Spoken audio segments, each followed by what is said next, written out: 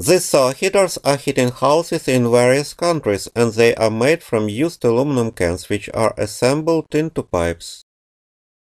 These pipes must be connected in this way so that some fan directs air along this path. Now you will see a little experiment with this fan which directs cold ambient air through those black pipes where solar radiation heats the air to 45 degrees Celsius which is measured by this sensor. Let's look at how several of the solar heaters will heat this house in the city of Zaporizhia. This city with a population of almost a million is located 30 kilometers from the front line and the enemy army has already gathered almost 200,000 soldiers to destroy and occupy Zaporizhia. This is the south wall of that house and here we see three solar heaters with a total area of 10 square meters and this is another 7 square meters of solar heaters. We see that the ambient temperature is 16 degrees Celsius below zero, and now we will see that the cold ambient air been heated by one of those uh, heaters to 69 degrees Celsius.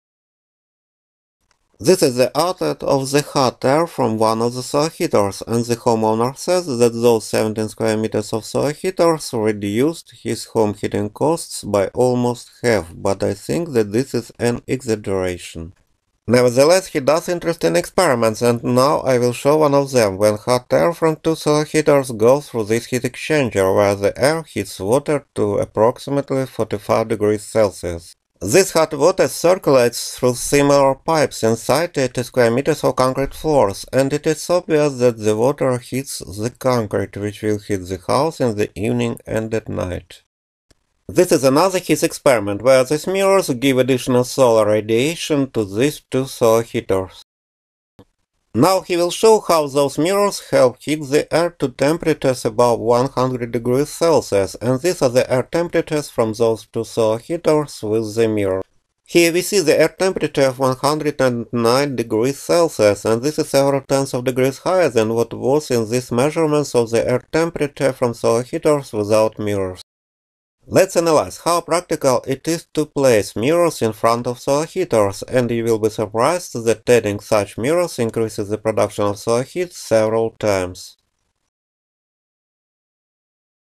Let's imagine that our solar heater has an area of 1 square meter, and this is a flow of solar radiation with a power of 800 watts onto its glass. Not all of this power will be absorbed by the black walls of these pipes, because 20% will be reflected by this glass, or absorbed by the glass, or scattered by the black paint of the pipes. Therefore we lose this 160 watts, but the remaining 640 watts hits these front walls of the pipes to about 41 degrees. Some of that thermal energy will go to these back walls of the pipes due to the good thermal conductivity of the aluminum walls of the cans. These hot walls of the pipes will heat this air, which moves through the pipes and has an average temperature of 35 degrees. Unfortunately, the hot pipes lead to this heat leak through this thermal insulation, as well as this heat radiation and heat leaks through the glass. These three types of losses increase if the difference between the average temperature of this air and this ambient temperature increases, and this case of a 30 degree difference leads to these general losses. So, only the 300 watts will transfer from the hot walls into this air which moves through the pipes, and it is this thermal energy that will heat the house. It is obvious that an increase in this air temperature leads to an increase in this temperature of the pipes, which leads to a change in these numbers. Let's add this mirror and it will direct this additional solar radiation to the solar heater glass, but we will lose this same 20% due to the glass and paint. Unfortunately, this additional solar radiation will increase the temperature of the front walls of the pipes by 15 degrees, which will lead to a slight increase in these heat losses by 130 watts. But this other 390 watts will be the additional heating power of the air which moves through the pipes. So, adding the mirror increased the heating power of a house by almost two and a half times from 297 watts to 687 watts. This was the result for the middle of day and these are my calculations for one sunny day from this morning to this evening. These are kilowatt hours of heat which come out of those black pipes and become the heating of a house.